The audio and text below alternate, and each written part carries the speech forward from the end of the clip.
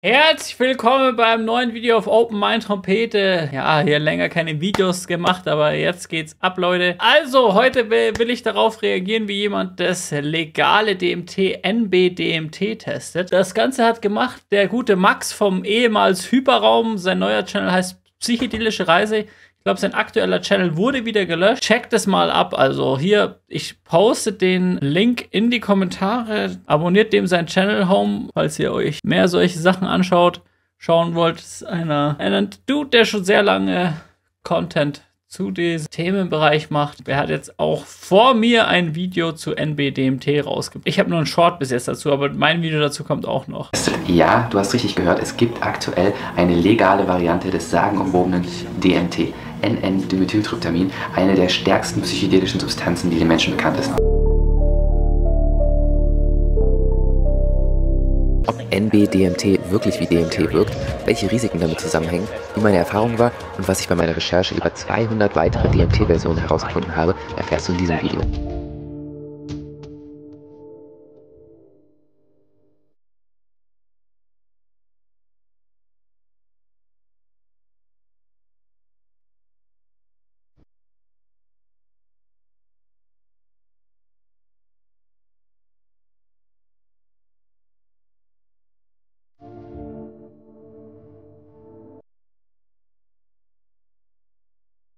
Call it. Ich habe das Ganze getestet, damit du es nicht tun musst. Denn an Sehr schönes Intro. Stelle möchte ich direkt auch strengstens davon abraten, irgendwelche neuen, unbekannten Substanzen äh, zu konsumieren. NBDMT ist aktuell noch völlig unbekannt, völlig unerforscht und deswegen ähm, ja, sollte man davon am besten die Finger lassen. Aber ich möchte durch dieses Video natürlich aufklären und habe mein Bestes gegeben, alle Informationen zu dieser neuen Substanz zusammenzutragen und einfach ähm, euch ein rundes Bild zu geben, was es mit NBDMT auf sich hat. Bevor wir uns NB-DMT genauer anschauen, eine kurze Vorstellung von DMT und warum es so faszinierend ist. DMT ist ein psychedelisch wirkendes Tryptaminalkaloid, eine psychedelische Droge. DMT ist ein Mysterium. Es wird von Menschen wahrscheinlich seit Jahrtausenden in unterschiedlichen Formen genutzt. Bekannt ist es vor allem aus dem südamerikanischen Gebräu Ayahuasca, welches dort in Zeremonien von verschiedenen indigenen Völkern verwendet wird. DMT und DMT-verwandte Stoffe kommen in einer Vielzahl von Pflanzen und Tieren auf dem gesamten Planeten vor. In neuerer Zeit wurde DMT in seiner Reihenform als rauchbare psychedelische Substanz bekannt. Wegen seiner sehr kurzen Wirkdauer von nur 5 bis 15 Minuten wurde es in den USA der 60er Jahre auch als Businessman's Trip bezeichnet. Eine Erfahrung so kurz, man könnte sie quasi in der Mittagspause machen. Seit den 90ern wird DMT immer bekannter.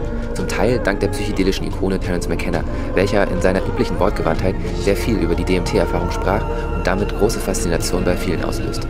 The content of the experience is completely uh mind boggling, completely befuddling. I don't know what we're going to do with the content of the experience because fully gotten out and fully discussed and fully realized It's not going to leave one brick upon another. Mit dem Aufkommen des Internets entstanden unzählige Internetforen und Sammelbecken für DMT-Enthusiasten, die sich über die Bedeutung und Implikationen der realitätszersetzenden DMT-Erfahrung austauschen. Seit 2006 wurde Changa, eine rauchbare Kräutermischung, welche DMT und MAO-Hämmer enthält, ähnlich wie Ayahuasca, weltweit immer bekannter. Berichten zufolge wurde diese Kräutermischung in Australien erfunden und fand dann über das Boom Festival 2006 ihren Weg in die Herzen und Hirne tausender Psychonauten. Heute ist Changa und DMT bei so ziemlich jedem Psychedelic Trance Festival auf dem Planeten anzutreffen. Gerauchtes DMT ist für seine welterschütternden, mit Worten nicht zu beschreibenden Erfahrungen bekannt. Tausende Nutzer auf der ganzen Welt berichten von ähnlichen Erfahrungen, in welchen sie andere Ebenen dieser Realität kennenlernen, mit Wesenheiten, sogenannten Entitäten kommunizieren, von Aliens obduziert werden oder mit der gesamten Existenz verschmelzen. Diese Erfahrungen sind geprägt von intensiven optischen Wahrnehmungsveränderungen, geometrische Formen, mehrdimensionale Objekte und Räume, die keinen Bezug zu unserer bekannten Realität haben und vieles mehr, wofür es noch keine Worte gibt. Wenn du dich für DMT und die mysteriösen Wesenheiten, die damit in Verbindung stehen, interessierst, kann ich dir übrigens sehr das ganz neu erschienene Buch von Ismail Wetzri ans Herz legen. DMT Begegnungen, psychedelische Realitäten und multidimensionale Wesen. Hier eine spannende Info, die ich im Buch entdeckt habe. Um mehr über das Wesen der Entitäten herauszufinden, führten David Windham Lawrence und sein Team eine qualitative Analyse aller DMT-Erfahrungen durch, die in der DMT Reddit Community über einen Zeitraum von 10 Jahren gepostet wurden. Insgesamt wurden 3778 Erfahrungen aus 3305 Beiträgen in diese Studie aufgenommen. 95% der Psychonauten gaben dabei an, mit Entitäten in Kontakt gekommen zu sein und dass sie diese Wesenheiten für bewusst und intelligent hielten. 80 Prozent gaben an, dass diese Erfahrung ihre Wahrnehmung der Realität grundlegend verändert hat. Den Link zum Buch findest du unter diesem Video. Wusstest du, dass in dem Moment, wo wir geboren werden und wo wir sterben, DMT in unserem Gehirn ausgeschüttet wird und jede Nacht, wenn wir träumen, auch? Wie krass ist das denn, ey, dieses Bewusstseinsmolekül, Alter? Ich, ich wette, er geht es danach, weil er sagt ja Random Hitty at a Random Psy Festival, ja stimmt. Äh, ich, ich glaube, teilweise ist das gar nicht so belegt, wie das, wie das manche so darstellen. Und ich habe hier das beste Changa, was du je gesehen hast, Alter. Das wurde von Terence McKennas Tochter hierher geschmuggelt und der Changa Blend ist der originale Blend von Julian Palmer. Ohne Scheiß, das ist das beste Changa, was du jemals in die Finger kriegen wirst. Ich habe bereits Vorerfahrungen mit DMT in ganz unterschiedlichen Dosisbereichen, von Mikrodosis hin zu Minidosis und auch stärkeren Dosierungen von DMT und Changa. Und ähm, ja, diese Substanz hat mein Leben auf jeden Fall absolut bereichert, würde ich sagen, und hat äh, mir sehr, sehr intensive, welterschütternde Erfahrungen letztendlich beschert, die meine Weltsicht und meine Spiritualität ähm, sehr stark geprägt haben. Und deswegen würde ich sagen, habe ich die. Ja, ich glaube, mehr Ahnung von Drogen als über Rundfunk. Ja, das sowieso. Grundvoraussetzung, um dieses neue NB-DMT ähm, irgendwie einordnen zu können und die Effekte auch vergleichen zu können mit dem klassischen DMT äh, und ob das Ganze denn jetzt wirklich äh, als legales DMT bezeichnet werden kann. Um mehr darüber herauszufinden, habe ich mit zwei Experten und dem angeblichen Hersteller von NB-DMT gesprochen. Deswegen ähm, habe ich immer schon so gedacht, so, naja, es gibt doch diese legalen LSD-Derivate, warum gibt es sowas eigentlich nicht mit Tryptamin? Warum gibt es nicht irgendwelche legalen Tryptamine? Warum gibt es kein legales DMT? Habe ich mir schon immer irgendwie gedacht, dass es ähm, spannend wäre. Und dann auf einmal habe ich das da entdeckt äh, und habe dann natürlich sofort gegoogelt und versucht zu recherchieren, NBDMT. Das war zu dem Zeitpunkt auch, ähm, oder ist ja auch immer noch, sehr, sehr neu. Man findet super wenig Erfahrungsberichte. Es gibt auf Reddit ein paar Posts von Menschen, die das irgendwie probiert haben. Und dann war es halt so, ich habe das in diesem einen Shop entdeckt, der, sage ich mal, eher unbekannt ist und auch sehr obskure, auch sehr gefährliche Substanzen verkauft. Die verkaufen da auch ganz schlimme Research, Opioide und. Ähm also von dem, was ich weiß, NBDMT ist etwas weniger effizient als das normale DMT. Also man müsste da sehr viel mehr nehmen für die gleiche Wirkung. Das ist einer der Nachteile. Aber es ist relativ leicht, das, äh, da so eine Art Base draus zu machen. Aber das wäre ist theoretisch illegal. Aber theoretisch wäre es ultra leichter, sozusagen das effizienter zu machen. Aber es müsste auch theoretisch ein bisschen reizvoller für die Lungen sein. Also jetzt auch wahrscheinlich jetzt nicht irgendwie schädlicher als irgendwie, wenn man Tabakkonsum, wenn man eine Zigarette raucht oder so. Aber wahrscheinlich ein bisschen ein bisschen reizvoller für die Lungen jetzt als zum Beispiel normales DMT. Seltsamer Wobei man natürlich auch vergleichen muss, quasi das NB-DMT, das ist natürlich hergestellt von einer legalen Fabrik. Da kannst du davon ausgehen, dass es rein ist.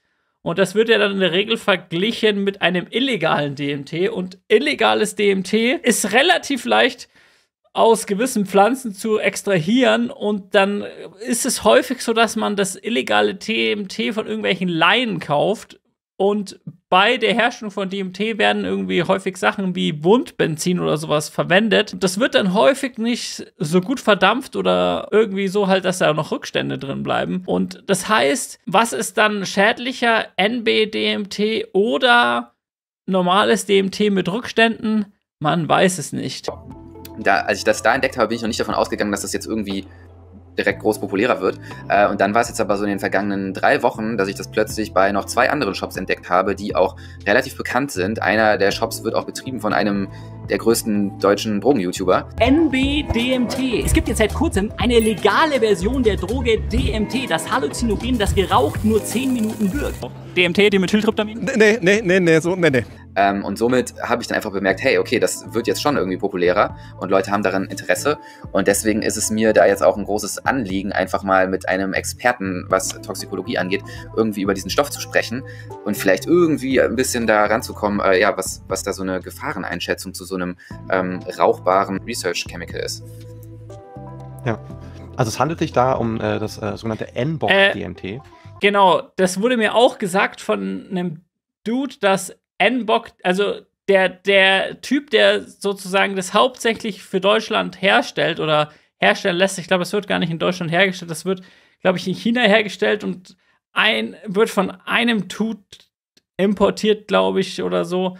Und der macht es dann für alle oder so und davon, davon haben das dann alle Shops und so. Und jedenfalls, der hat das NB-DMT genannt, deswegen nennen das die meisten so, aber N-Bock-DMT ist eigentlich so der ein richtigerer chemischer Name. Und äh, witzigerweise, es ist genau dieselbe Art von Linker wie bei den 1 äh. Das heißt, es ist auch an diesem Stickstoff von den Indolring, ähm, ist quasi eine Gruppe dran, die N-Bock-Gruppe. Ähm, und äh, das, ist auch, das ist auch ein ganz, ist wieder ein relativ typisches Substitut, ähm, was man auch, ich sag mal, im, im Drug-Design, also wenn man Medikamente entwickelt, ähm, findet. NBDMT ist eine sogenannte Forschungschemikalie, die durch ihre leicht veränderte Struktur das Gesetz umgeht, so wie man es zum Beispiel auch von 1T-LSD kennt. Das bedeutet, NBDMT ist aktuell weder im Betäubungsmittelgesetz noch im neue psychoaktive Stoffegesetz aufgeführt und somit legal, wenn es nicht für den menschlichen Konsum bestimmt verkauft wird. Genau. Die Idee dahinter ist wohl, dass dieselbe Spaltung, die beim LSD in unserem Körper passiert, äh, hydrolytische Spaltung äh, über ich sag mal, relativ ubiquitäre Enzyme normalerweise, eine ähnliche Spaltung äh, würde auch thermisch passieren. Das ist so die Hypothese dahinter. Das heißt, in dem Moment, wo man es quasi erhitzt, äh, spaltet sich quasi diese, diese Gruppe ab und dann verdampft quasi das DMT. Und das, äh, man inhaliert quasi das, das DMT selbst. Das ist im Prinzip die Hypothese. Die Frage ist halt, wie viel von dem anderen Stoff mitkommt, weil er halt auch, ich sag mal, einen gewissen Dampfdruck hat. Mhm. Und das, die andere Frage ist auch, wie viel von, äh, ich sag mal, diesen Gegenionen mitkommt, also diesem, äh, diesem Salz. Und das ist. Genau, mit dem Salz. Das ist halt eben das Ding, wo halt viele skeptisch sind, wo die sagen halt, ja, okay, wenn das Salz, wenn da viel von dem Salz mitkommt, dann wird es schon nicht so gut für die Lunge. Schwer, äh, thermodynamisch vorherzusagen. Mhm. Deshalb, äh, ähm, also die Theorie dahinter ergibt Sinn ob beispielsweise, ob man aber vorher, ich sag mal, so einen Freebasing-Prozess machen müsste. Das, die Frage stellt sich, ja. Freebasing, genau. Das ist relativ leicht zu machen, theoretisch. Also, dass man, dass du dann so eine Art DMT-Freebase herstellst, dass es noch effizienter zum Verrauchen ist, äh, zum Verdampfen ist. Ich sage auf keinen Fall, wie das hier geht, liebes YouTube-Team. Nehmt dies wieder nicht runter. Aber, mh, mm, ja, Vielleicht gesagt haben als Aufklärung. Marinsäure auch nicht so gut, wenn man die inhaliert. Vielleicht ist die auch ein bisschen zu reizend.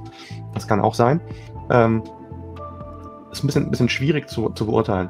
Und das andere ist natürlich auch, wie sauber riecht das Molekül selbst. Also wir wollen ja immer noch diese N-Bock-Gruppe äh, wegbekommen von dem DMT, während die mal hitzen. Und vielleicht funktioniert das nicht vollständig. Vielleicht entstehen aber auch irgendwelche, auch Pyrolyseprodukte. Mhm. Deswegen also solche Fragen sind auf jeden Fall offen. Ob die gesundheitlich so relevant sind für Leute, die einmal im Monat ein bisschen DMT vapen wollen, stellt sich die Frage. Also ich muss sagen, in dem klinischen Setting für die Wissenschaft, ich würde es wahrscheinlich machen. Äh, aber das Ehre, Mann. Heißt jetzt nicht, dass es ungefährlich ist oder äh, nicht zusä zusätzliche Risiken birgt, als im Vergleich zu DMT-Vapen, die vielleicht noch nicht bekannt sind. Wenn du Lust hast, das Gespräch mit Dr. Fabian Peter Steinmetz in voller Länge zu hören, dann check unbedingt psychedelische-reise.de und melde dich für den Newsletter an, um immer auf dem neuesten Stand zu bleiben, was alle psychedelische Reiseinhalte angeht. Demnächst geht zum Beispiel der Psychedelische Reise Podcast an den Start. Psychedelische Reise lebt von euch und eurer Unterstützung. Deshalb überleg doch mal, ob du ein Teil der Reise werden möchtest durch eine monatliche oder einmalige Spende. Alle Links findest du in der Videobeschreibung. Tja, und was während meiner Recherche immer wieder für Unklarheit sorgte, war, ob denn nun NBDMT-Oxalat oder NBDMT-Fumarat auf dem Markt ist oder sogar beide Formen. Ich habe beides bei unterschiedlichen Shops gefunden. Um das und weitere Unklarheiten aus dem Weg zu räumen, habe ich mal beim Hersteller angerufen. Der NBDMT anbietet. Ähm, ich vermute aufgrund meiner Recherchen, dass das der Anbieter ist, von dem auch alle anderen äh, Anbieter aktuell das NBDMT beziehen, also der Großhändler. Und ich rufe jetzt einfach mal da an und stelle dem ein paar Fragen zu dem legalen DMT. Hallo, hier ist die Mobilbox von. Hallo. Hallo. Hallo. Guten Tag, hallo, wie ist mein Name? Servus. Ähm, ich habe jetzt schon ein paar Mal versucht anzurufen. Ich habe nämlich so ein paar Fragen zu eurem NBDMT. Also soweit ich das gerade erkennen kann, seid ihr ja aktuell irgendwie der einzige Anbieter von NBDMT in Deutschland. Das heißt, ihr stellt das selber her. Und jetzt habe ich eine Frage und zwar. Ich glaube, dass sie das aus China importieren, um ehrlich zu sein. Habe ich nämlich im Internet immer wieder entdeckt, es gibt Oxalat und es gibt Fumarat. Und ich habe jetzt von einem anderen Shop, ähm, der quasi das Oxalat anbietet, das Oxalat. Aber ich vermute, dass dieser Shop das eventuell wahrscheinlich von euch hat.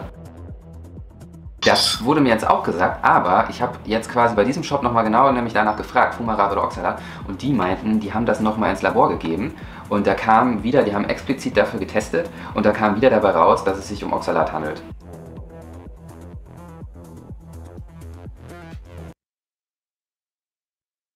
Ah ja, da, schon, das ist der Beweis, die sagen, sie stellen es selbst her, aber die importieren das auch aus China und wussten wahrscheinlich nicht, dass es Oxalat dann ist oder so.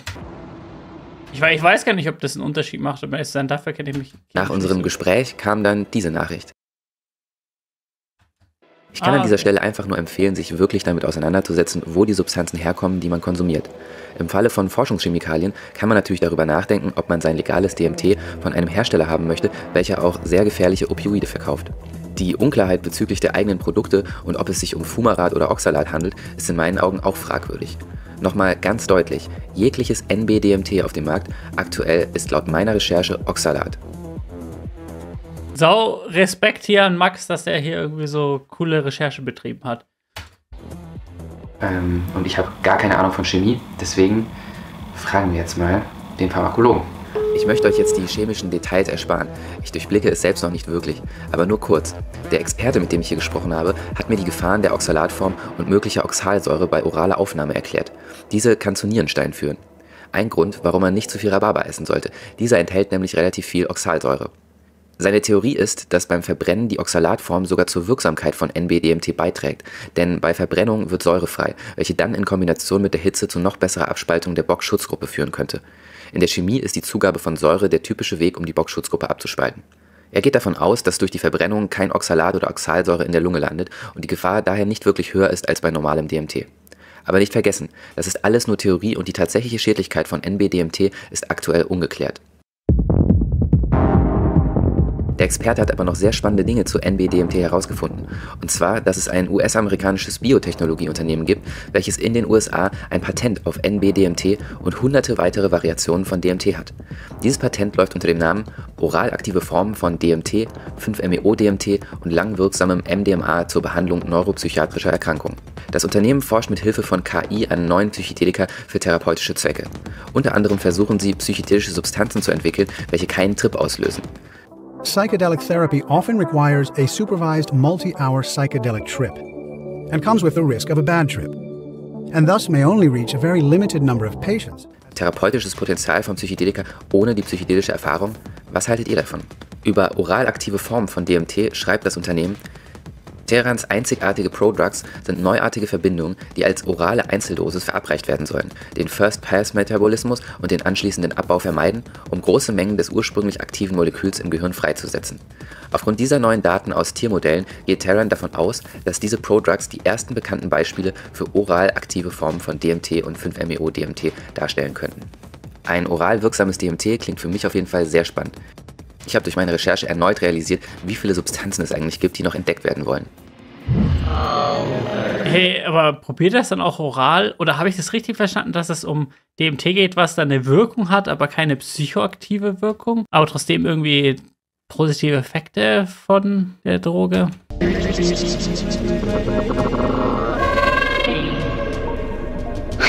So, ich werde jetzt das legale DMT testen. Und ich merke auf jeden Fall, ich bin genauso aufgeregt wie bei dem ähm, klassischen DMT. Gucken, ähm, ob das ein gutes Zeichen ist. Der erste Schritt für mich bei diesem Experiment wird jetzt sein, eine kleine Menge vom NB-DMT einfach äh, verdampfen zu lassen äh, und mal zu riechen, äh, wie das denn riecht. Und ja, also mich würde einfach interessieren, ob wenn das so verdampft, direkt schon ein DMT-Geruch entsteht. Ja, also man, man riecht das, ich habe das ja auch, das legale DMT und das riecht schon, das, alle, allein das Ding riecht schon. Ich weiß nicht, ob, ob ich es hier, weil es ja legal ist, ich könnte es hier theoretisch im Stream zeigen, ich weiß nicht, ob ich es machen soll. Also ich weiß nicht, ob das gegen TOS verstößt. Das ist jetzt so der erste Teil dieses Experiments.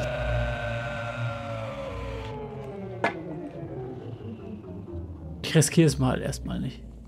Keine Ahnung, ich weiß es nicht. Jo, Ist ja nur weißes Pulversalz, oder? Du darfst alles zeigen, was im Land legal ist. Okay, nee, ich, ich zeig's vielleicht in dem Video oder so. eindeutiger DMT-Geruch. Ja. Dein Gesicht verschützt gegen die TOS, ja, das auch. Ich bin gespannt, ob er deutlich mehr husten muss als bei normalen DMT, weil ich denke, da, da sollte man dann schon erkennen können, ob das dann wirklich deutlich reizvoller ist für die Lunge. Es ist ein gutes Zeichen, würde ich sagen. Los geht's.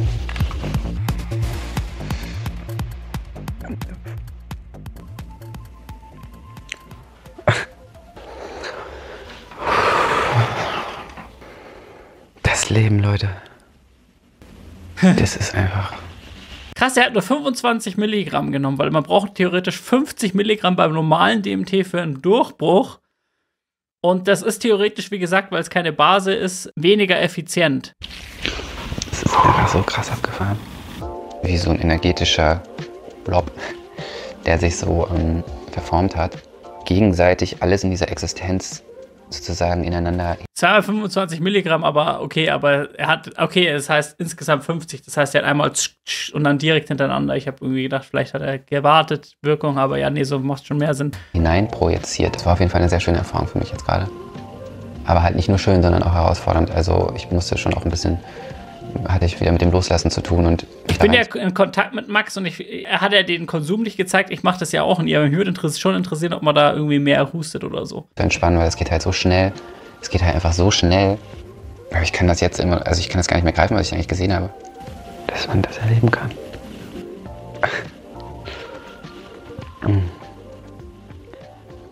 Wunderschön und faszinierend und ich habe selbst, ich habe vor, tatsächlich erst diese Woche selbst auch zu testen.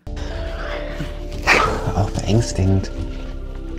Also man muss schon loslassen, sonst ist das nicht so angenehm.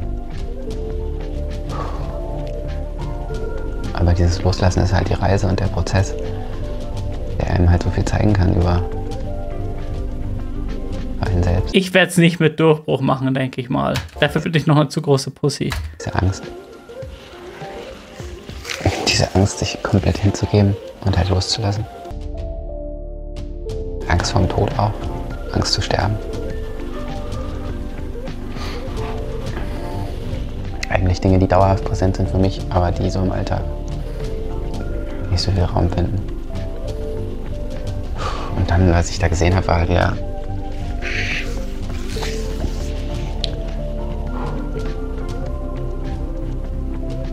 Also das Spannende ist halt,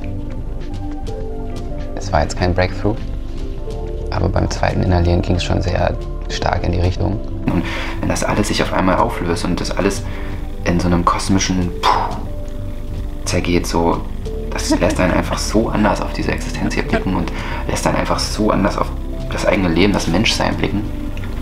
Das ist noch gar nicht lange her, also die Effekte sind jetzt gerade quasi schon fast wieder weg.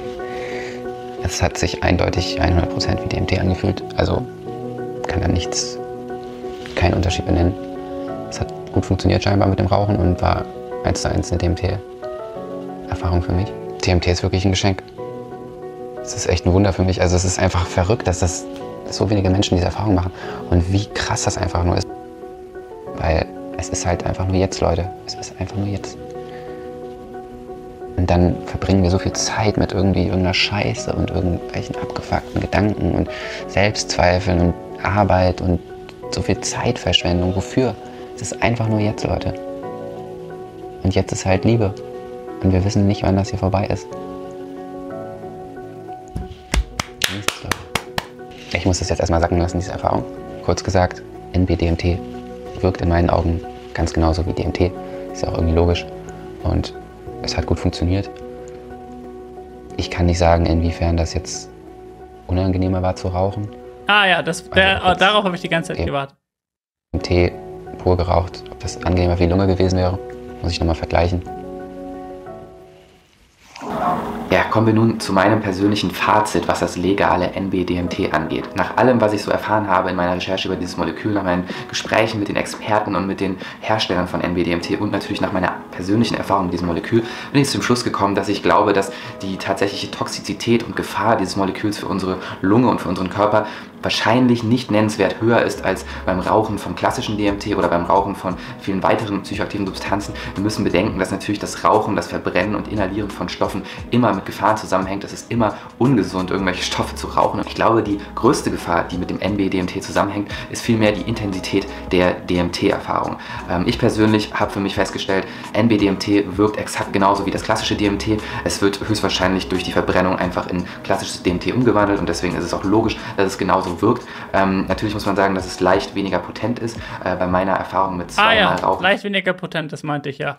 Von 25 Milligramm ähm, kann ich jetzt nicht 100% sagen, wie viel weniger potent es ist. Da bin ich gespannt, was noch andere Erfahrungsberichte sagen. Aber insgesamt ähm, ist es einfach ja, ganz klar die DMT-Erfahrung. Und deswegen ist in meinen Augen auch das allergrößte Risiko ähm, ja, die psychische Intensität dieser Erfahrung und wie krass welterschütternd doch die DMT-Erfahrung sein kann. Und dass es für manche Menschen wirklich ähm, ja, einfach eine Erfahrung ist, die sie so krass aus den Socken haut, dass sie im Nachhinein sehr schwer damit umgehen können.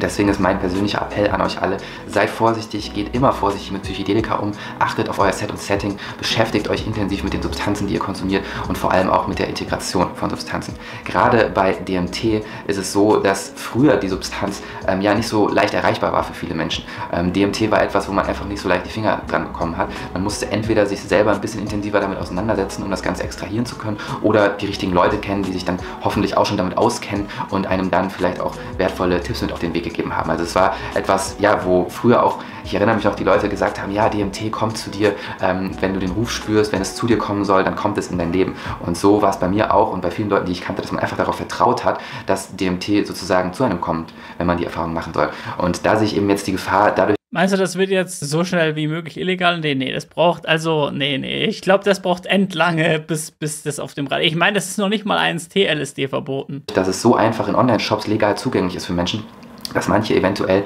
durch die Legalität das Ganze auch unterschätzen, nicht so Ja. respektvoll damit umgehen. Und das ist, glaube ich, das größte Gefahrenpotenzial bei NBDMT. Und an dieser Stelle möchte ich jetzt noch ein paar Zeilen vorlesen aus dem zuvor schon erwähnten Buch von Ismail Wetzky, DMT, Begegnungen, psychedelische Realitäten und multidimensionale Wesen. Wie gesagt, an dieser Stelle noch eine ganz klare Empfehlung. Nehmt diese Sache ernst. Nehmt die Substanzen ernst. Eine Testleserin gab mir das Feedback, dass man aufgrund dieses Buches das Bedürfnis entwickle, diese Erfahrung selbst machen zu wollen. Das gab mir zu denken. Denn gerade DMT ist nichts, was man mal so nebenbei konsumieren sollte. Im Gegenteil, es ist eine heilige Substanz, die bei unsachgemäßem Gebrauch großen Schaden anrichten kann. Bitte informiert euch ausgiebig darüber, was ihr dazu euch nehmt, welche Auswirkungen es gibt, welche Eigenschaften diese Substanz aufweist und sucht Kontakt zu erfahrenen Psychonauten, die euch bei euren Reisen unterstützen.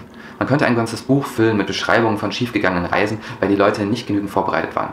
Habt Respekt vor der Medizin, habt Respekt vor dem, was euch da gezeigt werden will. Ja, das kann ich auf jeden Fall nur so unterschreiben.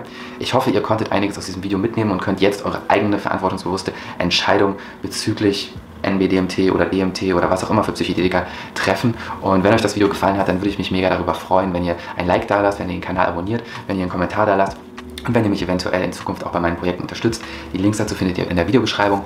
Bis bald, macht's gut, bleibt bewusst. Jo, also wirklich sehr, sehr geiles Ding von Psychedelische Reise. 1010 Abonnenten. Lass mal das auf direkt auf tau- 2000 Abonnenten pushen. Nee, okay, im Stream wird das wahrscheinlich nicht klappen, aber vielleicht mit den Leuten, die das Video anschauen. Ja, äh, ich werde auf jeden Fall auch noch ein Video dazu machen und dann noch so ein paar, vielleicht noch ein paar Sachen beleuchten, die da jetzt nicht beleuchtet werden oder so. Abonniert Open Mind Trompete. Bis zum nächsten Video. Peace!